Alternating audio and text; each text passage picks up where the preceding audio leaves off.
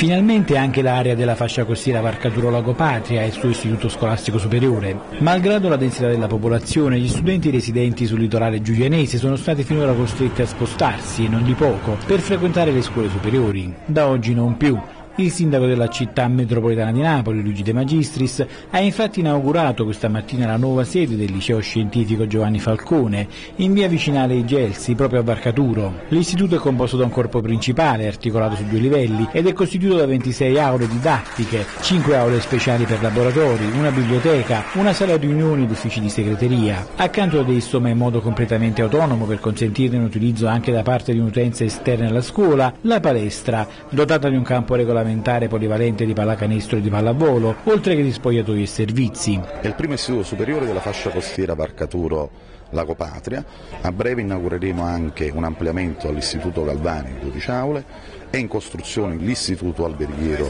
Acqualiano che l'anno prossimo inaugureremo, l'anno scorso abbiamo inaugurato il nuovo istituto segreto a Mugnano, quindi l'attenzione per l'edilizia scolastica da parte della città metropolitana e del sindaco De Magistris è enorme. Già da oggi per le prime e le quinte classi dell'istituto, che è una succursale dell'Isis Falcone di Pozzuoli, la campanella è suonata nel nuovo edificio. Prossimamente vi si trasferiranno anche le seconde, le terze e le quarte, per una popolazione scolastica complessiva stimata in circa 600 alunni, che potranno godere di una struttura dotata delle più moderne tecnologie per la loro formazione. Questo territorio ha finalmente una scuola superiore e vuol dire anche non fare allontanare i ragazzi, vivere nel proprio territorio, migliorare il proprio territorio è il prosieguo e sarà il prosieguo di un lungo discorso di legalità avviato agli altri istituti che ovviamente diventerà ancora più forte con questa bellissima struttura che abbiamo ricevuto. Il costo complessivo dell'investimento è stato di circa 6 milioni di euro, interamente finanziati dalla città metropolitana. Soddisfatto il sindaco De Magistris, secondo cui si tratta di una scuola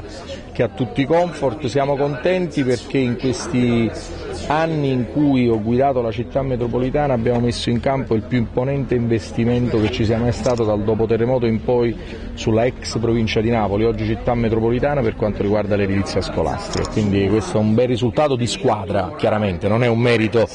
solo mio, un merito di tantissimi che ci credono, della comunità scolastica, dei dipendenti, dei dirigenti, dei consiglieri metropolitani, dei sindaci dei territori, insomma davvero un grande lavoro di squadra. Nel giorno dell'inizio dell'anno scolastico il sindaco ha voluto rivolgere il pensiero a tutti gli studenti dell'area metropolitana, ai quali ha augurato innanzitutto di difendere la scuola pubblica che è fondamentale,